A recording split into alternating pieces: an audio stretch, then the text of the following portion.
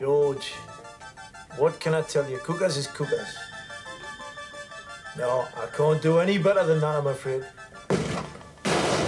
Hang on a minute. Right. Where's my money?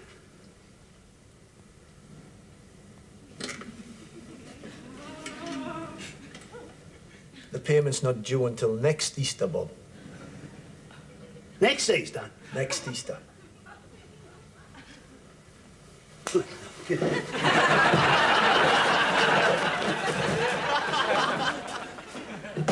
That was Bob Hoskins in The Wrong Good Friday.